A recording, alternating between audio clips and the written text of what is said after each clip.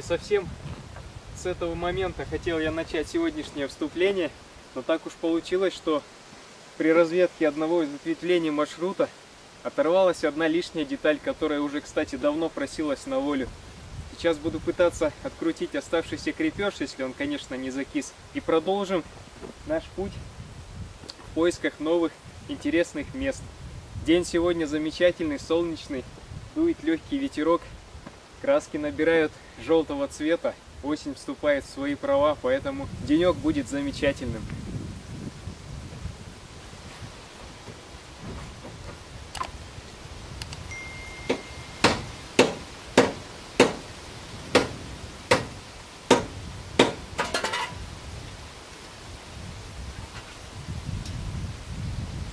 Ну, вот как-то так. Ремонт в полевых условиях. Теперь автомобиль стал легче, а значит более приспособлен к бездорожью.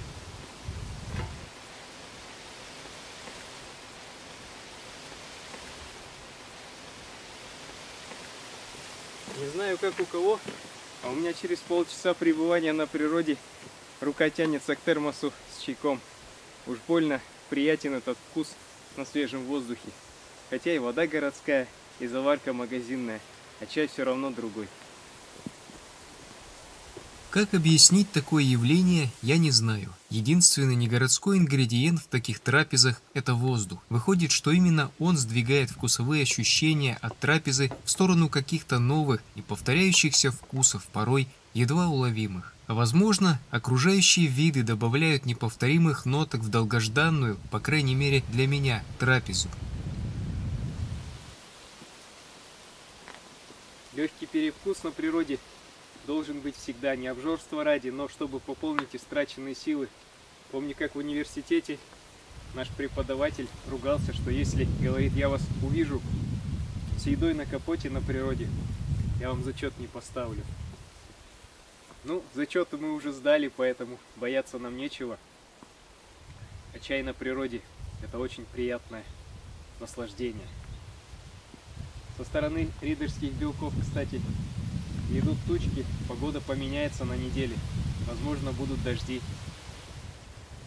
Пополнив истраченные силы, еще немного полюбовавшись осенними пейзажами с преобладанием желтых и красных цветов, нахожу хорошо накатанную дорогу, ведущую прямиком к Ульбе. Несмотря на видимую популярность этого места среди отдыхающих, сегодня здесь тихо и спокойно.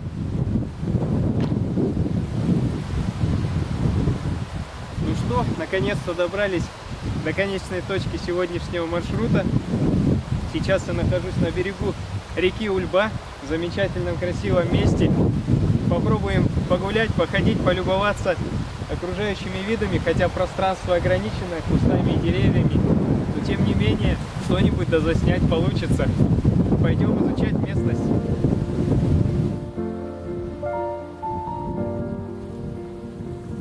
Здесь я впервые присматриваю новые места, разведываю новые маршруты, разбивая их по категориям сложности и удаленности от ближайших населенных пунктов. Сегодня подброшенная вверх монета вновь указала в сторону Ульбы. Но сегодня это ее правый берег. Река все та же, а пейзажи другие. По берегам преобладает ива, а макушки гор усеяны вечно зеленой елью вперемешку с уже пожелтевшими березками и осинами. Уже совсем скоро эта разноцветная красота скроется под белоснежным покрывалом приближающейся зимы. Все это будет чем-то напоминать линейку на 1 сентября в школе. Все лето разномастно и пестро одетые школьники в одночасье становятся похожими друг на друга, надевая черно-белую форму и отличаясь лишь по росту.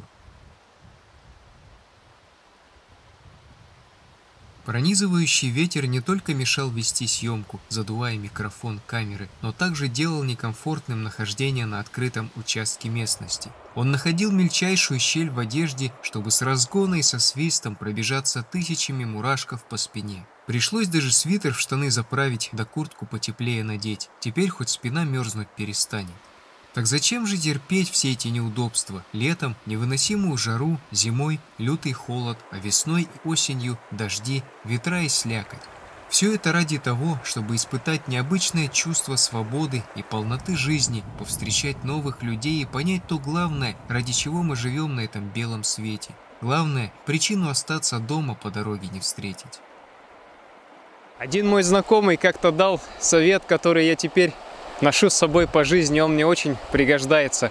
Он сказал, что все вопросы, связанные с пополнением продуктовой корзины, с походами в магазин с целью прикупить какие-то вещицы, будь то одежда или бытовая техника, нужно стараться решать в будний день, после рабочее время, если твой график зависит от работодателя и он не свободен. А свободное время на выходных посвящать любимому делу, либо каким-то неотложным моментам, то есть кому-то помочь нужно или еще что-то. У кого-то это любимое дело, все те же походы по магазинам, а для кого-то это возможность на пару дней выбраться в красивые замечательные места, подобные этому, подышать свежим воздухом и почувствовать вкус свободы, которую большие города у нас отнимают. С годами понимаешь, что время, проведенное на природе, оно бесценно и оно приносит в жизнь какие-то моменты, мгновения, которые делают тебя лучше, сильнее. И иногда это помогает лучше всякой психотерапии.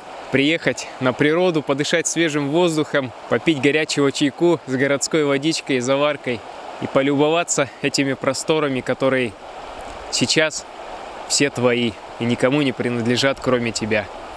Бредешь с такими мыслями где-нибудь по лесу или вдоль речушки и не нарадуешься, как же ты богат сегодня, сейчас. Вскоре я вышел к железнодорожному мосту, стальному исполину, соединяющему противоположные берега реки. Ну вот, прогулялись, вышли к железнодорожному мосту и к железнодорожной ветке. Сейчас, кстати, там слышен поезд, поэтому нужно спуститься вниз, чтобы не испугать машиниста, не испугаться самому. Здесь раньше когда-то стояла какая-то будочка, судя по картам по навигации. Сейчас ничего здесь нет, потому что одно из ответвлений реки размыло дорогу. Там была автомобильная дорога, и, видимо, будку эту отсюда убрали. Поезд приближается, поэтому буду спускаться вниз безопасное место.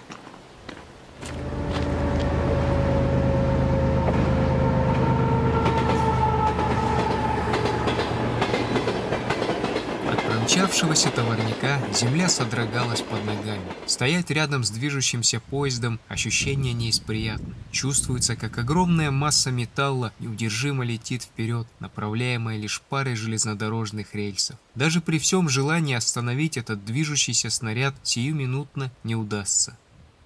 Величественно смотрится железнодорожный мост – Долго стоял я рядом с ним, вспоминая годы обучения в университете. Вот где нужны те многочисленные расчеты по сопротивлению материалов, построение эпюр, распределение нагрузок, балок и ферм, которые так тяжело давались многим из нас. Здесь каждый болт, гаечка, каждая заклепка выполняют ту важную функцию, которая была отведена им на стадии расчетов.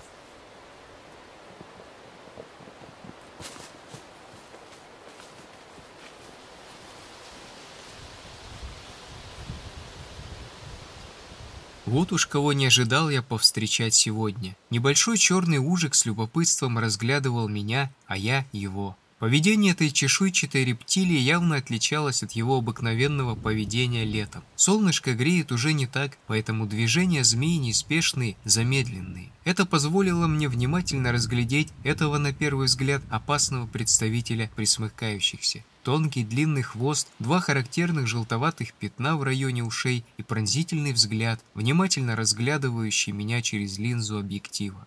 Ползи с миром, ужик, готовься к холодам.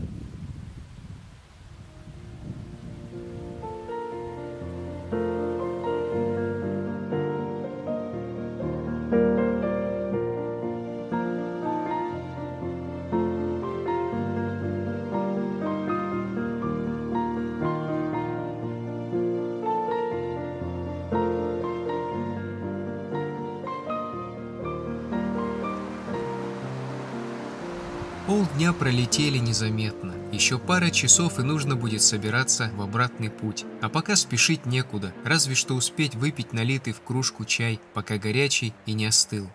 Тихо вокруг, спокойно. Лишь изредка вниз по реке пройдет рыбак, остановится напротив меня, расспросит, как рыбалка, улов. И очень удивится, когда услышит в ответ, что я не рыбачу, а просто отдыхаю.